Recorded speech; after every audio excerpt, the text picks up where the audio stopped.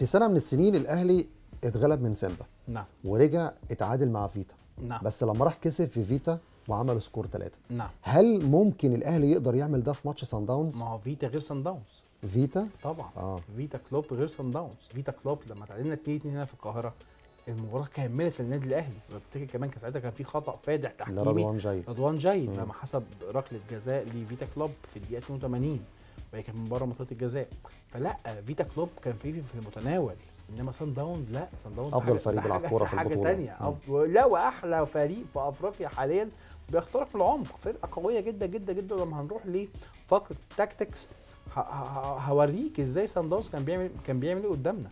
فلا الوضع مختلف. إحنا فعلا بس لكن بكل أمانة إحنا محتاجين يا محمد نصحح أخطائنا. وإحنا طبعا مش عايزين نستبق فقرة ال tactics هنتكلم فيها عن أخطاء وقع فيها الجهاز الفني وقع. فيها اللعيبة. لازم نصحح أخطائنا ولازم يبقى عندنا جرأة في التعديل والتغيير. ومهم جدا جدا موضوع ال rotation ده لازم فعلا يبقى مبرر. يعني أنت ما بتعملش ال rotation لأجل ال rotation لا أنت بتعمل rotation اللي أنت عايز تستفيد منه. طب ممكن إن ال rotation اللي بيحصل ده مش مخليك عندك استمرارية في في نتائج أفضل؟ مليون في المية. لأن جزئية الاستمرارية دي إحنا اتكلمنا فيها الحلقة اللي فاتت. مي- إحنا لغاية النهارده. آه. إحنا إحنا عمالين أهو نقول النادي الأهلي بقاله فترة طويلة ما بيكسبش مباريات يعني مش عامل سترايك من الانتصارات مفيش. مش عايز مش قادر تعمل سلسلة من الانتصارات ورا بعض. ده ماشي على خط وتسيب خط ماشي على خط وتسيب خط. أنا من وجهة نظري يجب على مارسيل كولر انه يختار أفضل العناصر اللي يبدأ بيها.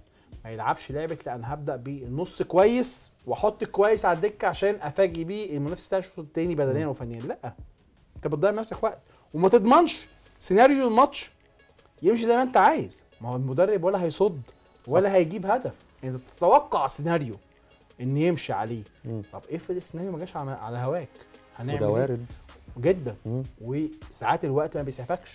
فالصح إيه الصح إنك تبدأ بأفضل العناصر عندك بمناسبه الوقت. نعم. إيه الفكرة في التغيير بعد الدقيقة 60 هو عندك مبرر ليها مثلا؟ هو الراجل هل المدرسة دي القديمة. مدرسة المدربين اللي هم الكلاسيكيين القدام قوي دي شوية بيفكروا آه، دي كده مدرسته دي مدرسته. هو ما بيغيرش لاعب قبل قبل قبل ساعة. بيقعد يحسب أموره كتير. بس أنا ربما يكون ما أعرفش يعني أنا أنا مش مش أحد أفراد الجهاز الفني. أنت تعرف إن حتى التغيير الإضطراري اللي تم لما أيوة. نزل ياسر إبراهيم مكان محمود متولي نعم. محمود متولي أصيب في الدقيقة مثلا 40 41 أيوه فأنت لعبت ثلاث دقائق وفي أيوة. دقيقتين ثلاثة وقت ضايع أيوة. الست دقائق دول الأهلي لعبهم 10 أيوه وقال لك أوفر التغيير ده الشوط بين- بين يعني. أعمل ده بين الشوطين عشان عشان أوفر الثلاث. توقفات آه في الشوط الثاني بالظبط هي في الآخر بص هي. حسابات مدارس. مدير فني وفي الآخر هو هو هو اللي بياخد القرار وبرضه هو اللي هيتحمل مسؤولية القرار بتاعه فاحنا النهارده بنشوف ان آه، في في حاجات أكيد لو الجهاز الفني بادر بيها كان ممكن يساعد اللعيبه لكن في كل الأحوال خلاص اللي حصل حصل ونتمنى إن شاء الله الفترة الجاية النتائج تتحسن.